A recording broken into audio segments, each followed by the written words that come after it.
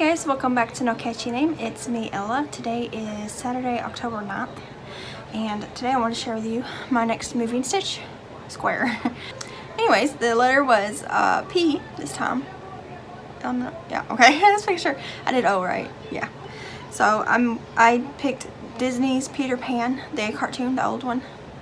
I don't know when that came out, but I grew up watching the Disney uh, classics like on repeat because my mom uh, censored things that we watched. I was trying to think of, you know, like we didn't watch a lot of TV and stuff. We watched movies, you know, that were kid friendly. That's what I'm trying to say. Anyways, we grew up on Disney and I watched Disney on repeat growing up. Peter Pan was always one of my favorites. And actually one of my favorite movies is Hook, which is a Peter Pan story. It's the one that's got um, Robin Williams in it and Julia Roberts and Dustin Hoffman. and I absolutely love that one. But this is for the old, well really this would go with any Peter Pan movie. And uh, I wanted to do something kind of simple, but still was for the movie. So I just picked out a dark blue color and a white and made this. so this is the uh, second star to the right, right here, which is where Neverland is. I don't know if it's reversed in the I don't think it's reversed. And then I just put a bunch of little like regular stars, which took forever. And look at the back. I'm going to line the back of my blanket, so I don't care that it looks like that. But, um, so I did the big star and the little star. And then all the little regular stars for it. This is Red Heart scrap yarn. This is white. And I'm not sure what this blue is called. But I know it's Red Heart because the way it feels. It's just a dark like navy blue. And uh, yeah, so I thought it was cute. This square turned out huge. I think I used the wrong side hook, but it's just gonna be a little bit bigger than my other squares and I'm gonna make it work. I'm not worried about it. Um, I think I was supposed to use an H hook and I believe I used an I hook on this one. So it came out bigger, but I'm not worried about it. I'll make it work. But yeah, I think it's so cute.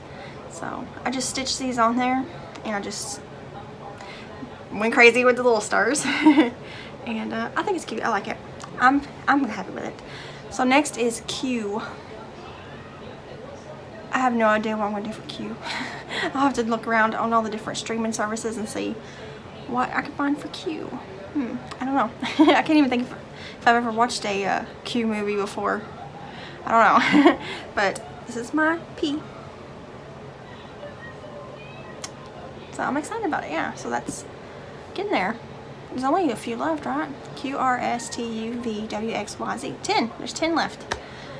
Hmm. So, it's going to be interesting. I'm hoping I can finish this before the end of the year, but I don't know if I will. it really depends on my energy levels. They keep going up and down.